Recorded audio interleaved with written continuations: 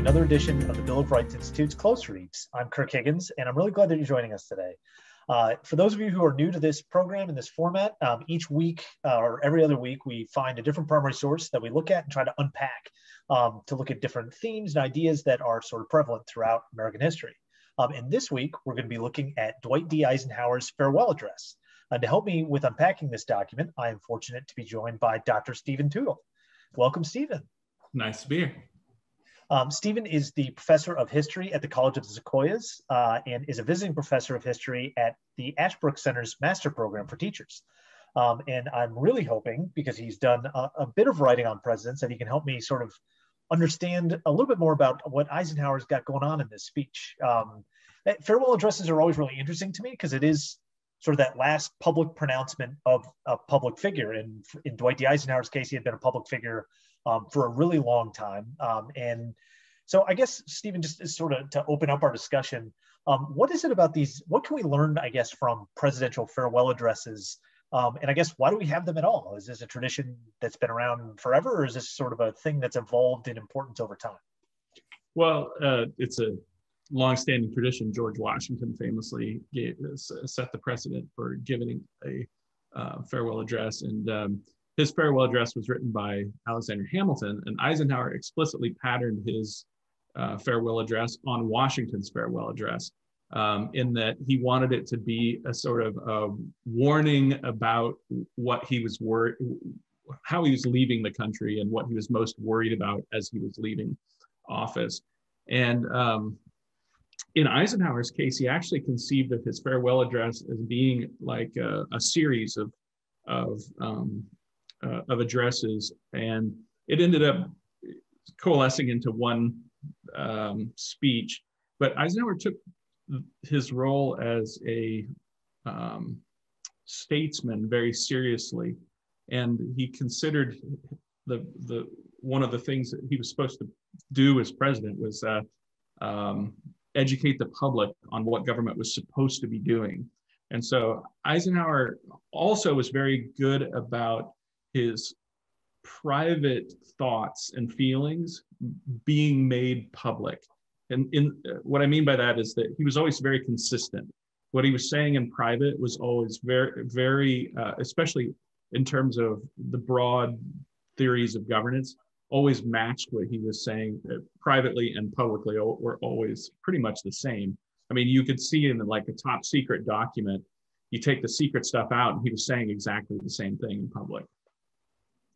Yeah, that's really interesting, and I, I'm I, I'm really fascinated by that Washington connection because I didn't know about that, but I, I got a lot of sort of Washingtonian uh, uh, vibes from this vibes, strange word to use. Uh, a lot of Washingtonian um, feelings though, because he does. You see a public official who, you know, like Washington was a general beforehand, but you see someone who is retreating from the public eye for the first time and in trying to be as transparent about that um, as possible. And so I think maybe for me the big question for this um, is so you know what what what do we what is revealed about Eisenhower's thinking about the executive branch broadly, sort of the role of the presidency, um, you know, through his farewell address. Well, he had a deep sense of history. It's fun. I think in his high school yearbook, uh, he was most likely to be a t- history teacher. I think was, uh, and um, he was primarily influenced by the, the examples of Washington and Lincoln. And he was a very sophisticated reader of, of Lincoln in particular. I mean, really understood the subtleties of leadership and statesmanship um, from, from Lincoln. And um, as far as his conception of government, you have to also maybe remember um, why he was why he ran for president in the first place. Uh, and that was to restore balance, uh, not to the force, but to uh, the US government. Because after Truman's victory in 1948, he was really concerned that the Republican Party would go away, that the vision of government represented by the Republican Party would go away, and that it would politics would be left on one hand to uh, Democrats and on the other hand to demagogues. And he wanted to make sure that that didn't happen. So he put himself in this very particular um, historical role uh, when he decided to run for president. And then his farewell address is a reflection on how or whether he achieved uh, his goals. Uh, so you really get a, you can really get a, a, a, pretty keen insight into his philosophy of governance by looking at not just how he conducted himself through uh, eight years in office, but also where he saw his own failings as, as he was leaving office. Great. Well, I think that's a great transition for us to just find out a little bit more about who Dwight D. Eisenhower was. So, Dwight D. Eisenhower, we know both as president, but also had a distinguished military career, particularly in World War II, head of the Allied um, forces during the Second World War. So, um, Stephen, in your best, you know, three minutes, uh, who was Dwight D. Eisenhower, um, and how did he end up as president? Um, and and what were some of the the sort of the high points of his presidency? Wow. So, uh, gosh, three minutes. Okay, I can do this. The uh, um, born in Abilene, Texas, raised in Kansas, though, and primarily uh, associated with Abilene, um, Kansas. And I'm sorry, he was born in Denison, Texas, raised in Abilene, Kansas, and primarily associated with Abilene, Kansas. Um, went to West Point largely for the free education. His family was pretty poor, and they wanted to find a way so that all the boys could go to college. And uh, he wanted to go to the Naval Academy, but he was too old. Uh, and so he went to West Point.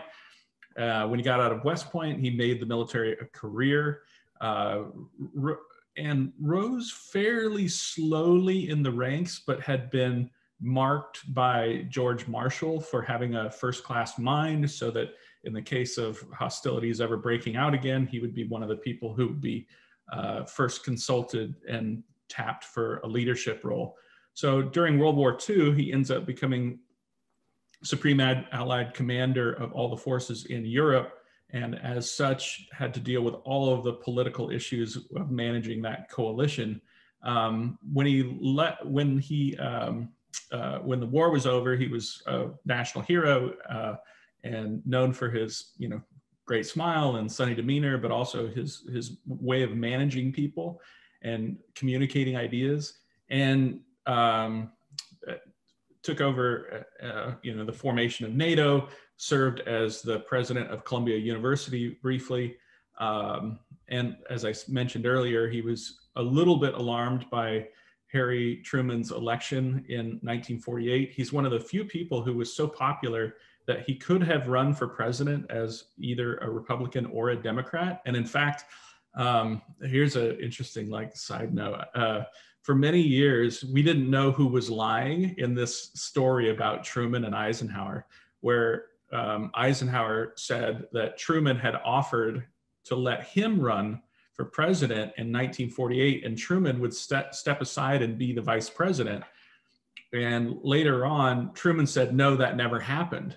And so we never knew who was telling the truth. Was Eisenhower telling the truth that Truman had offered him the presidency, uh, and the, or was Truman telling the truth?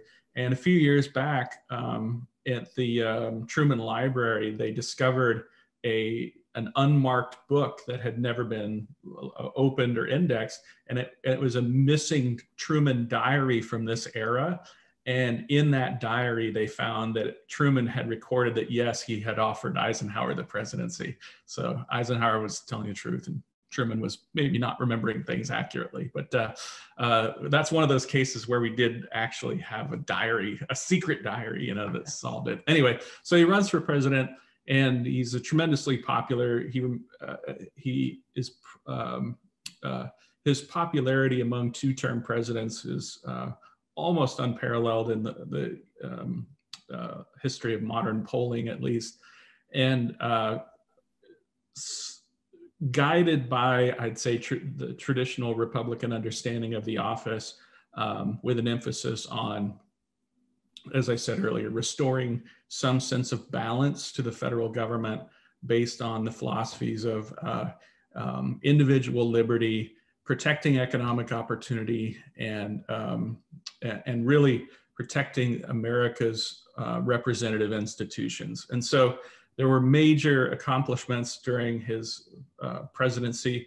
Um, the most visible was the interstate highway system, which really revolutionized everything about American life and commerce. It was the largest infrastructure uh, program in American history. So it's, it's also useful to point out this traditional dichotomy of people think that Republicans are for small government. And Eisenhower never understood it that way. He didn't think of small government, big government. He thought of subsidi- what a concept we would call subsidiarity, which is having the appropriate level of government solve the problem. And in the case of how do you build an interstate highway system, only the federal government can do that.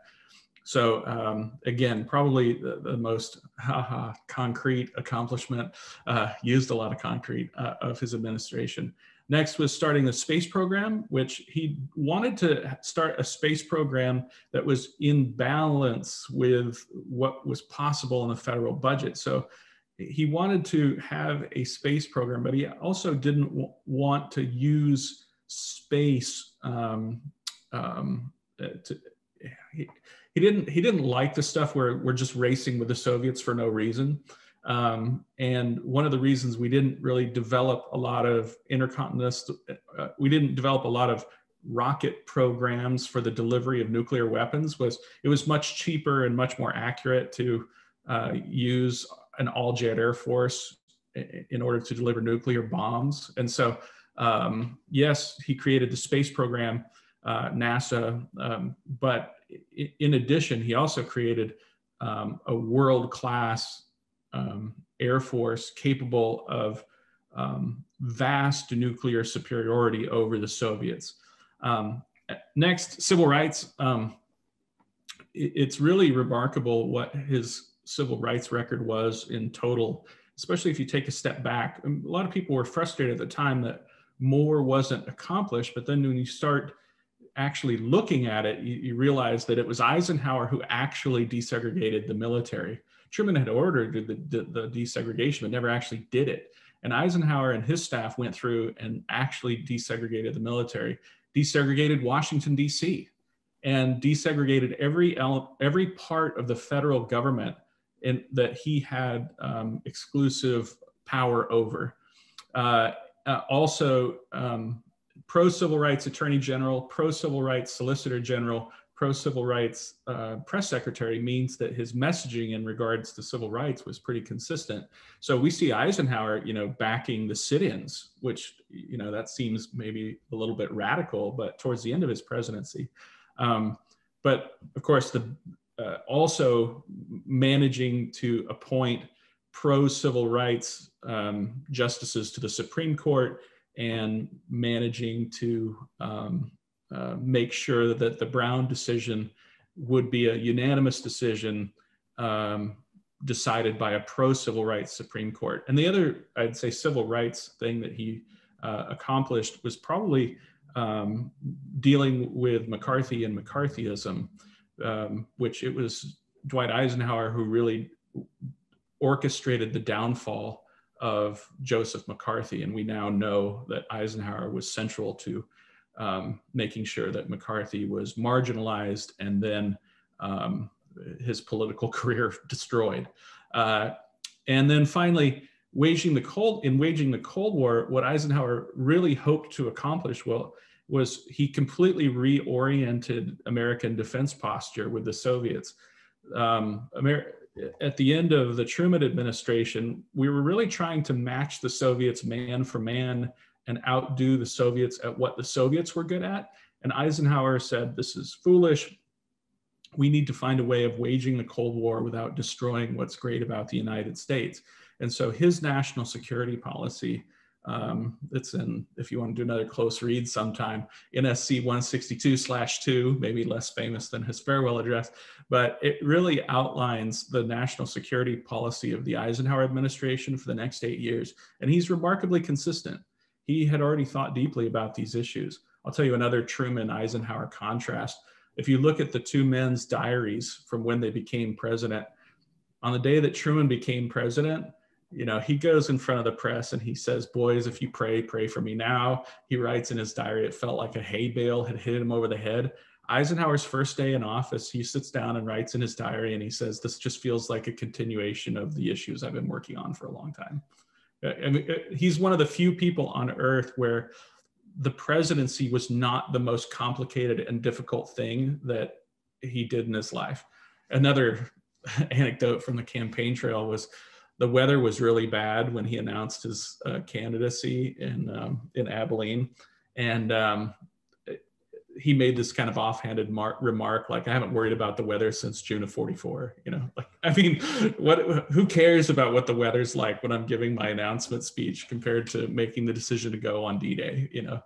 Um, so he was one of the f- people who could really put the presidency in its historical context because of his study of american history but also the jobs that he had had before taking office.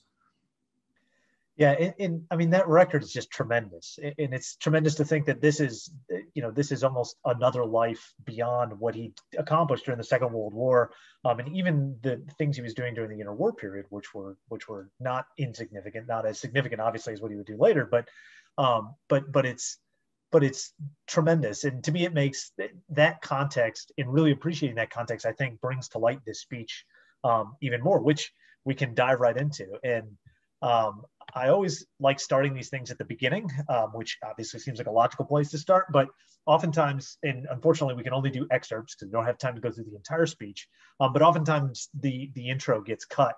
Um, but I love, I love his intro here because you know after Stephen, you going through that list of things that he's been doing and these accomplishments and these complex things he's been working on, he begins by expressing gratitude to the radio and television networks for providing him with the opportunity um, you know, eh, to, to, to speak to the nation. And that strikes me as interesting for a couple of reasons. One, because I think it does show in, in a true humility um, that, that I think again is reminiscent of sort of a Washingtonian kind of mindset, but it also very much places this in the historical context that it is, right? Television and television, radio maybe a little bit, but television as a medium to speak to the entire nation isn't brand new, but it's certainly not, you know, old hat at this point. It's still a fairly new thing. Um, and so that paragraph really strikes me. Um, and him laying in, you know, laying out what's about to happen in transitioning the office of the presidency, I think is something that we often take for granted in the United States. But that transfer of power being at the center of what it means to move from presidency to presidency and transfers of power between political parties in this case um, is so critically important that I find it fascinating that those are the two blocks that he begins his speech with. Well, and it, you're right in that the um, the context for thanking radio and TV is also because we're uh, significant because the 1950s are the decade when televisions became common, and the 1960s were the decade when televisions became um, universal. So by the end of the 1950s, the majority of American households did have TVs. That was not true when he took office. It was a very tiny uh, uh, percentage and it, and it was wasn't until the 1960s when it became almost universal. So it was Eisenhower who really set a lot of the precedents with regard to how to deal with the TV networks and working closely with them. Um, and and he wasn't afraid of uh, he he believed in communication and mes- messaging. So he he was willing to uh, discuss communication and messaging with uh, professionals and people teased about this, saying that this is just like selling soap or something. But but Eisenhower took those roles seriously. And then with regards to handing it off to President Kennedy, he was very concerned about President Kennedy because he considered Kennedy to be too much of a belligerent Cold Warrior. And so he, of course, he's handing power off to President Kennedy, but um, but he considered he wanted to warn the American people kind of against what Kennedy was pitching.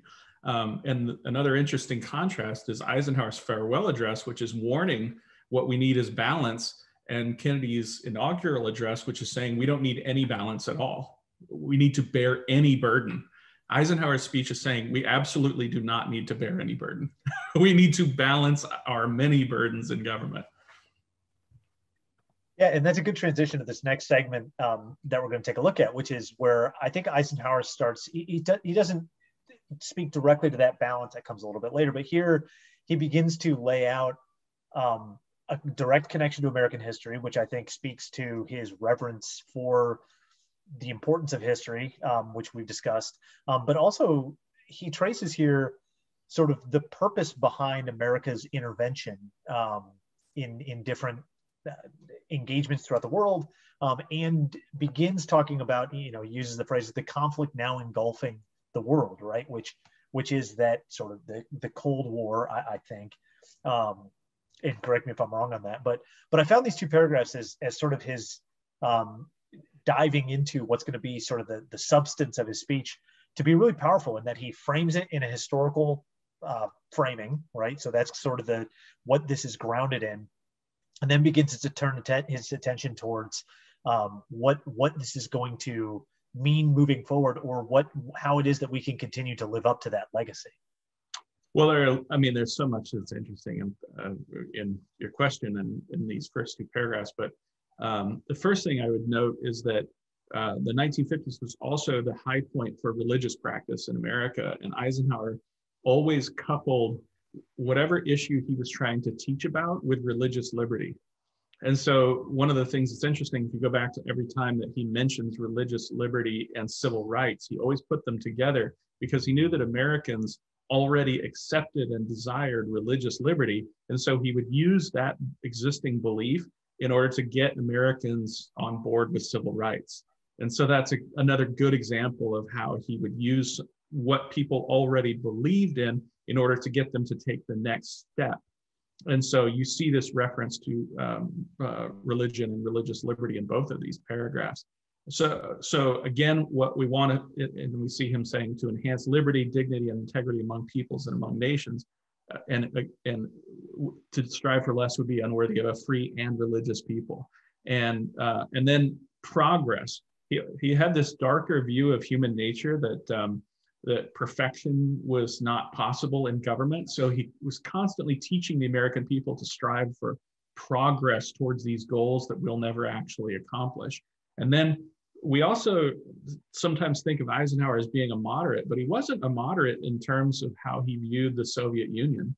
Um, he was willing to negotiate with them, but he always understood it as a hostile ideology. And he um, and he knew the dangers of preaching for security above all else because he's it's Eisenhower who said if all you want security you go to prison uh, and um, but he knew we had to face this this threat of an aggressive Soviet Union that was trying to take over the world and but his point was we have to face the Soviet threat without losing what's special about the United States.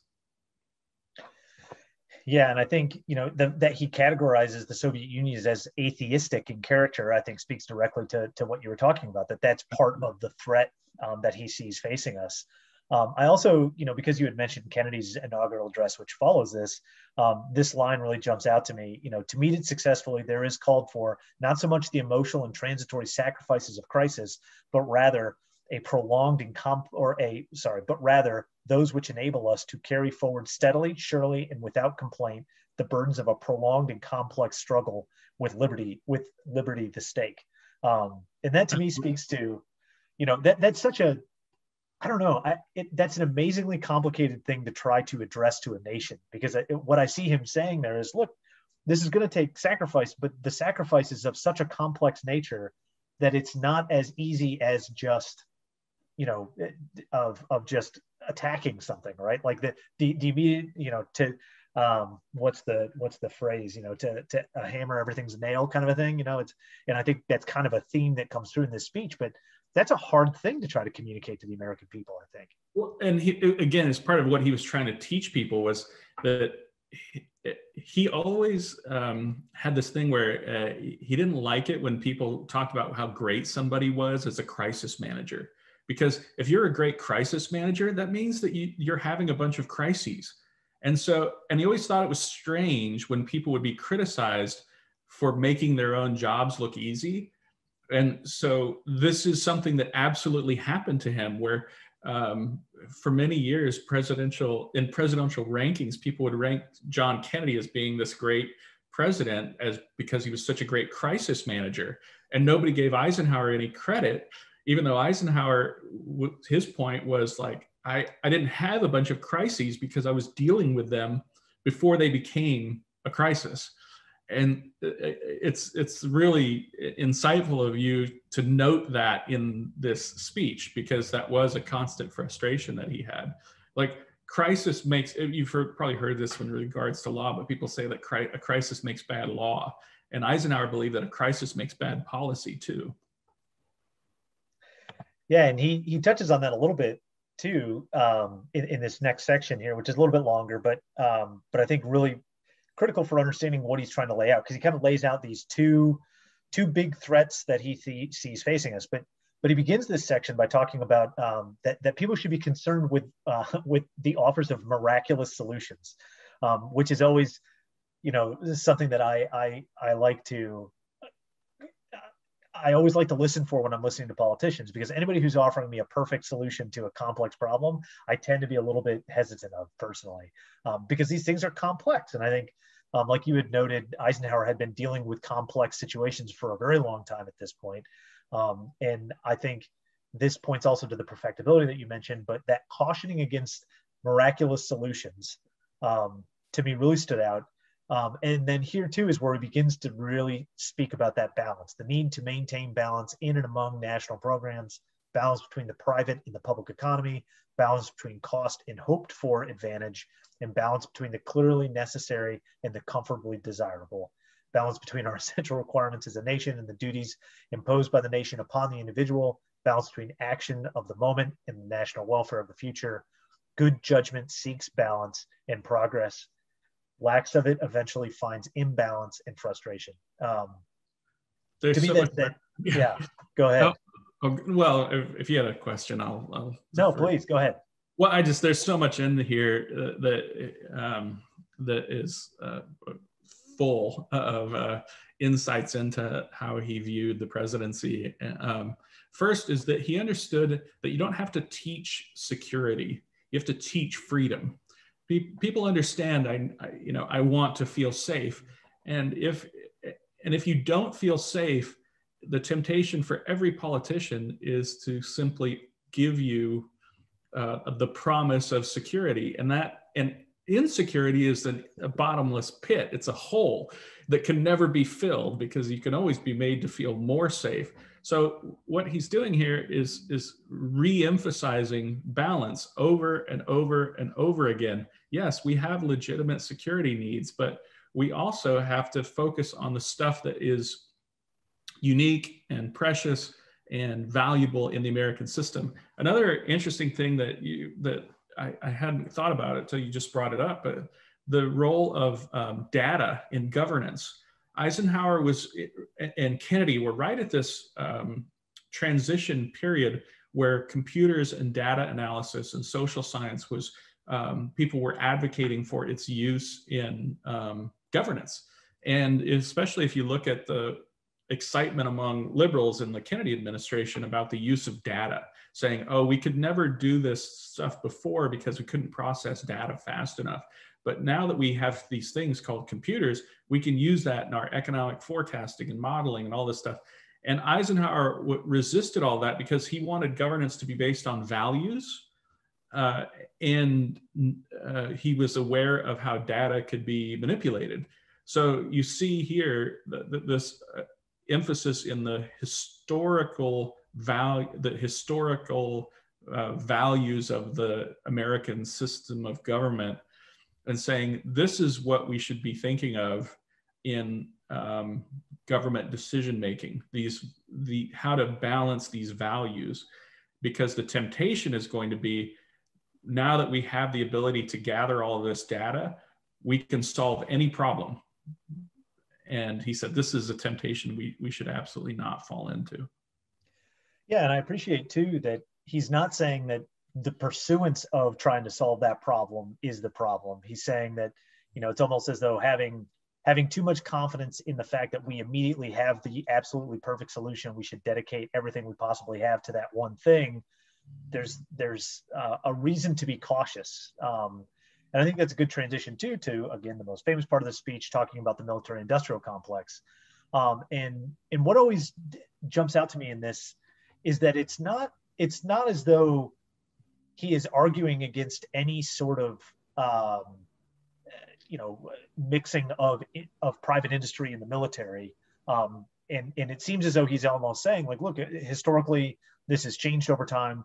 Um, the way that these arms are produced has changed over time. Part of that's out of necessity um, but it's a reality that this is now a new thing that we are dealing with.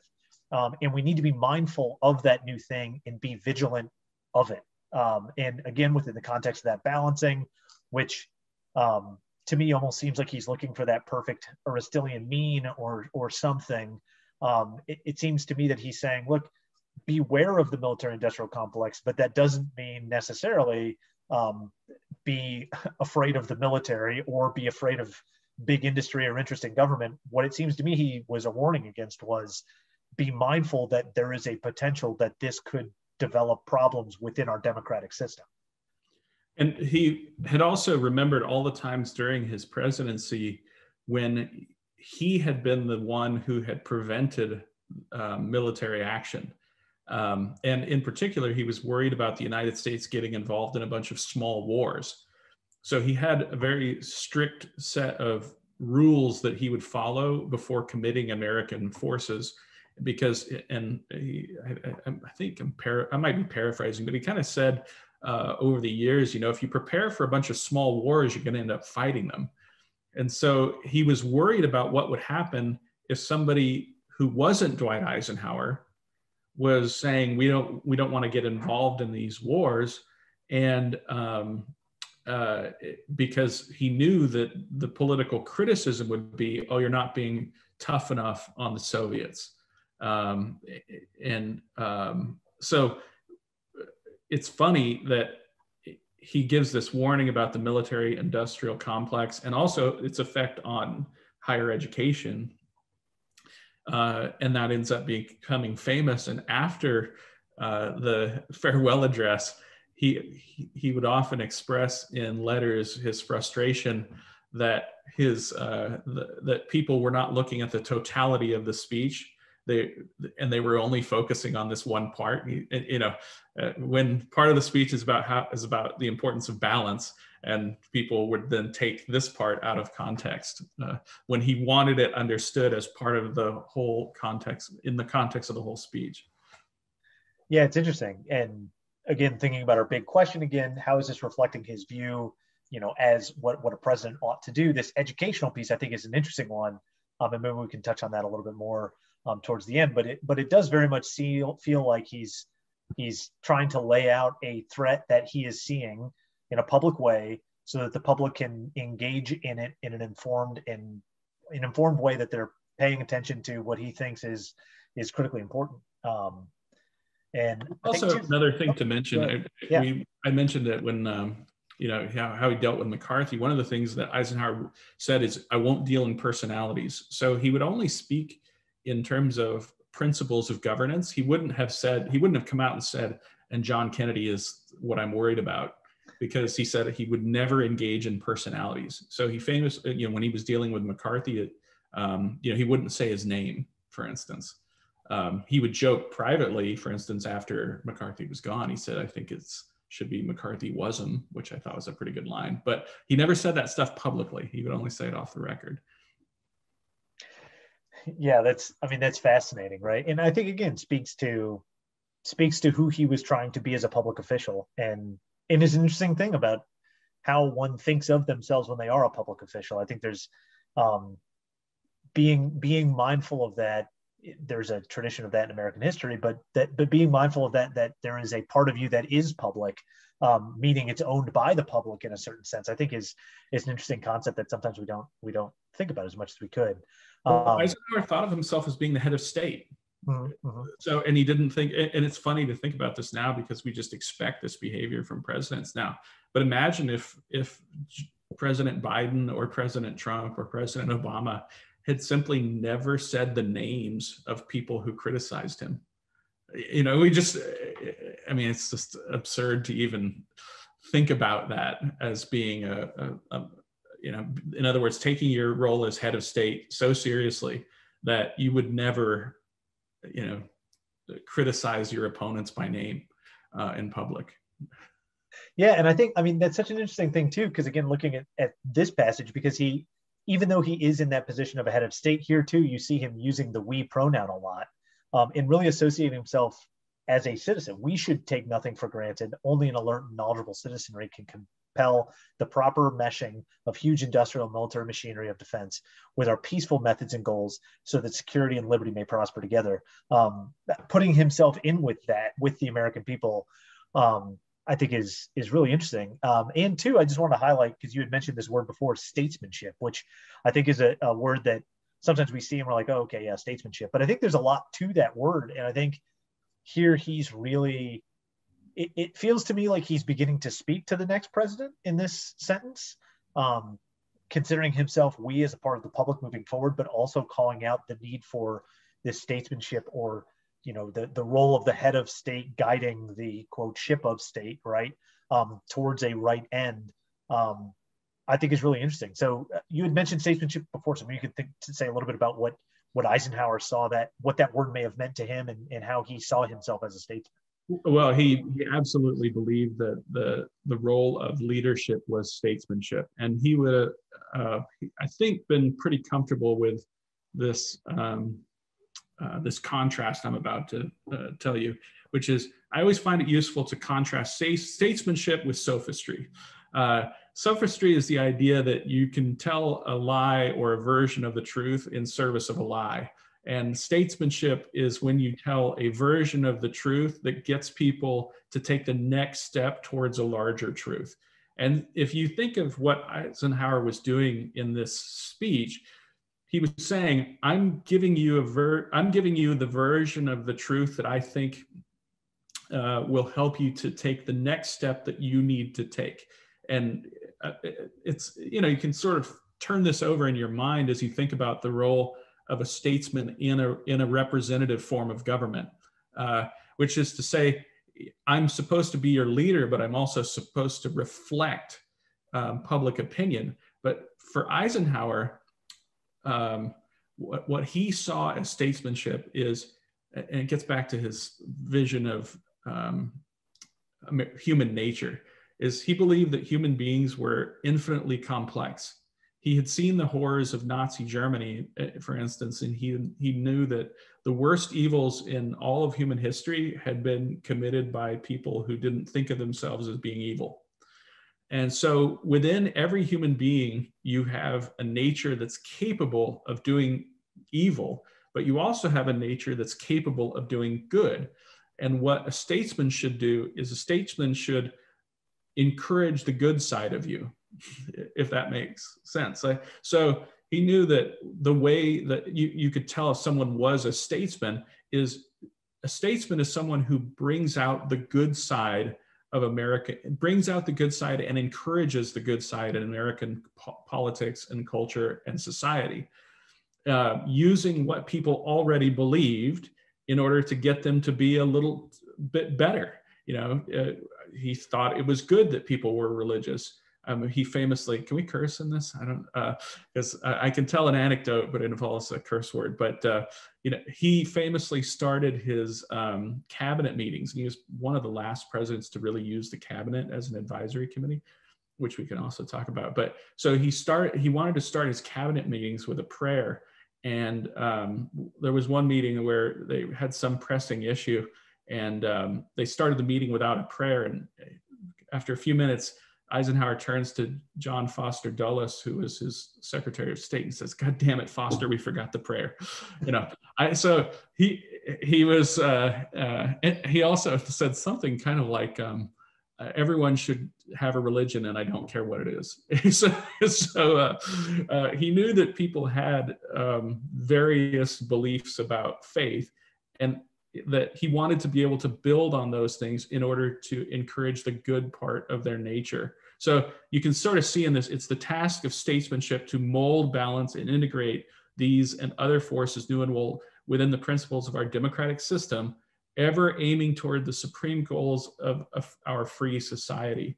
Um, in, in a way, he's kind of summarizing everything I just said.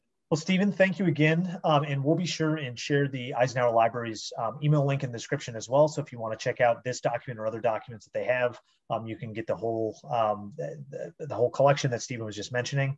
Um, but Stephen, it was a lot of fun walking through this with you, and I hope we can do it again sometime. Absolutely. Love talking to you. Absolutely. And thank you all again for joining. Please do like and subscribe uh, to the video if you haven't and you want to get more content. Um, we cover not only primary sources, but we have other great conversations with scholars like Stephen, um, with my colleague Tony Williams. We also look at different um, image-based primary sources um, with my colleague Mary Patterson.